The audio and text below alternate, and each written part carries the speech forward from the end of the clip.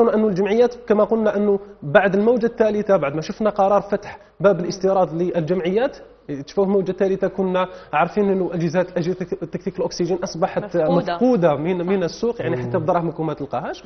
قرار اللي آه، اللي خدته وزارة الصناعة الصيدلانية لفتح مجال لاستيراد للجمعيات رانا عايشين ايجابياته الآن. بديتوا بديتوا ال- الاستيراد ولا مازال لا استردنا صراحة حوالي استوردتوا. 360 كنا أول جمعية استفادت لأنه جمعية من القاه هي كانت أول جمعية اللي تلاقت مع الوزارة وفت- وفتحوا باب النقاش وبعدين كانت فيه تسهيلات كان في تسهيلات يعني س- آه، كان في تسهيلات يعني آه، كان في لقاء مباشرة مع وزير الصناعه الصيدليه والسرعة السرعة في في في التوصيل في الس- السرعة في في التوصيل ولكن مش لقيناها مليك لأنه كانت آه، ال- ال- ال- في في البلد المصنع. لأنه كانت بعض الأجهزة جات سون جارونتي بدون ضمان. بدون ضمان لأنه تعرف كان طلب شديد هو يخ... مهم مهم نجيبوا الأجهزة. ثم منين تجيبوا ضمان المصداقية مع ال مع ال المواطن اللي يتعامل معكم؟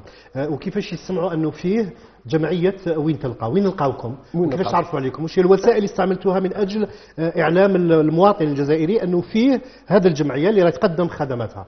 آه، عبر القنوات الإعلامية مثلا كما آه، حضورنا في قناة آه، الشروق أو عبر آه، موقع التواصل الاجتماعي وخاصة عبر نشاط الجمعية لأنه حتى أن الجمعية كان عندها آه، نشاط متقدم على مستوى المستشفيات من كانت تقدم مساعدات آه، الموجة الأولى والثانية كنا نركز بدرجة كبيرة على وسائل الحماية. في هذه الفترة عرف نشاط جمعية وين نلقى حتى الأطباء بمجرد أنه يشوف عنده المريض وين يحتاج جهاز تنفس يتصل مباشرة بجمعية آه، وين نلقى الموجات الموجة الثالثة خاصة اللي عرفت فيها أكثر الجمعية عن طريق خدماتها المتواصلة اللي كانت تقدمها للمرضى كما قلنا خاصة بال- في العلاج المنزلي بال- بال- بالأكسجين.